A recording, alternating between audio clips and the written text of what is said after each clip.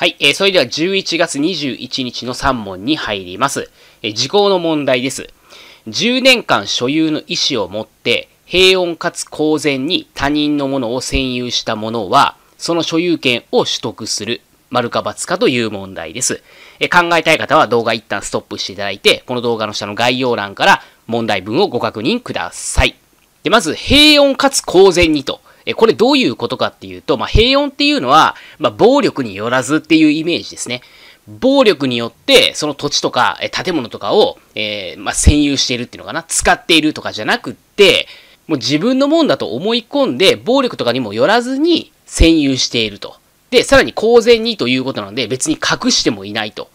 もう公な感じで、え隠さずに人のものだけども自分のもんだと思い込んじゃってえ使っている、占有していると。えそういった場合、えー、所有権を取得する丸か×かという問題です。で、答えは×なんですね。これなぜかというと、ルールが2つあるんですよ。1つ目のルールっていうのは、占有者が占有を開始した時点で善意無過失の場合、つまり他人のもんだと全く過失なく知らない場合、この場合は10年経過することで、時効を援用して所有権取得できるんですね。時効を援用するってどういうことかっていうと、10年経過したから、もうこれ自分のもんですよっていうふうに、まあ、主張すると、権利を主張する。まあ、これが時効援用をするということなんですね。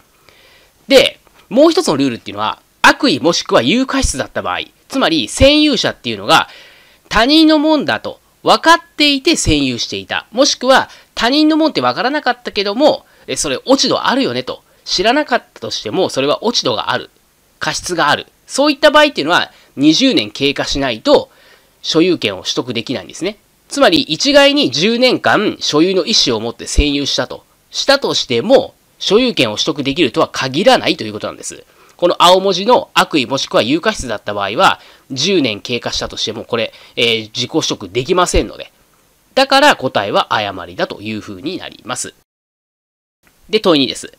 A が宅地建物取引業を営もうとする場合において、A が信託会社であるときは免許を受ける必要があるが、A が信託業務を経営する銀行であるときは免許を受ける必要はない、丸か×かという問題です。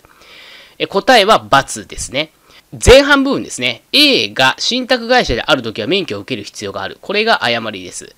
信託会社であったとしても、信託業務を経営する銀行であったとしても、どっちも免許を受ける必要はありません。これらの会社とか銀行、まあ、金融機関ですよね。っていうのは、国土交通大臣に届け出をすれば、国土交通大臣免許を受けたものとみなされるんですね。だから免許を受ける必要はないということです。届け出だけでいいんですよ、ということです。イメージとしては、〇〇信託銀行とまあ、いうような名称を使っている金融機関多いですね。通常の銀行ではないんですよ。ちょっと郊外に行っちゃうと、この信託銀行ってないんですけれども、大きな駅前とかにはですね、え信託銀行あったりしますので、近くに行った時は、まあ、ぜひ確認していただければと思います。で、免許が不要なもの、これは誰でしょうか？国とか地方公共団体、独立行政法人都市再生機構とか、え住宅供給公社とか、あと信託銀行、信託業務を経営する銀行。まあ、これは3種類はもうまとめて覚えた方がいいです。まあ、これも効率的な勉強法の一つなんですよね。もうまとめて覚える。まあ、今回の問題は3番の内容なんですけども、これだけ覚えるんじゃなくて、もう全部ですね、一緒に覚えちゃう。まあ、覚えようと思っても覚えられないんですけれども、何回も復習することによって、これまとまって覚えられるようになってくるんですね。もう3回、4回、5回って復習すると覚えてきます。なので、もうまとめて、何回も勉強するということが重要なんですよね。もう一個一個バラバラにこれ覚えちゃっていたら、もう試験前にどっちだったっけってなっちゃうんですよ。だからまとめて覚えちゃうということですね。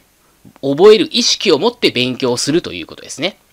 で、メルマガでは無料なので、もうたまにしか効率的な勉強法、えー、具体的にお伝えはやっぱできないんですね。そうなってくるとやはり不十分なんですよ。なんで、もう次こそ絶対合格したいという方は、え個別指導ぜひご検討いただければと思います。え個別指導では、え効率的な勉強法をどんどんどんどんお伝えしますし、こういったところは一緒にこうやって覚えましょうとか、対比して覚えましょうとか、答えはこうやって導くんですよとか、まあそういったところまでもうお伝えしておりますので、絶対合格したいという方は、個別指導で学んでいただければと思います。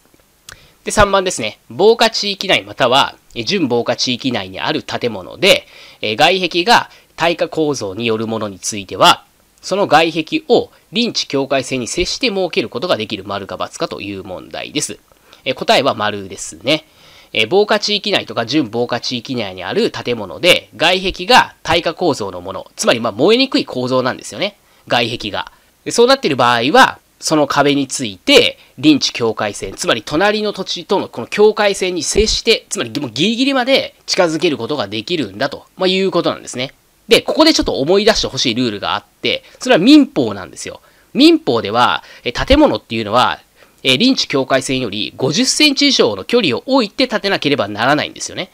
これ矛盾してますよね。民法では50センチ離せって言ってるのに、建築基準法では境界線ギリギリに接して設けていいんですよと言ってるわけですよ。で、これどうなのと？これどっちが適用されるの？というと、これは建築基準法が適用されます。で、民法っていうのは一般的なルールであって、個別具体的なルールっていうのは建築基準法で定めてるんですね。だから個別具体的なこっちを優先するんですよ。だからまあ今回の場合で言ったら境界線ギリギリに接して設けることは可能だということになります。まあ、このようにつなげて考えることができれば、あ、そういうことなのかってなりますよね。で、この感覚が脳を刺激して頭に入っていくんですよ。で、この感覚をぜひですね、個別指導で多くのポイントで体験していただきたいんですね。えそうすれば実力が上がるのも当然なんですよ。なんでこのように理解をしながら勉強したいという方はぜひ個別指導をご検討ください。え個別指導についてはこの動画の下の概要欄ですね。この下の概要欄に URL 貼っておきますのでご確認いただければと思います。今日も最後まで動画ご覧いただきましてありがとうございました。レトスの小野でした。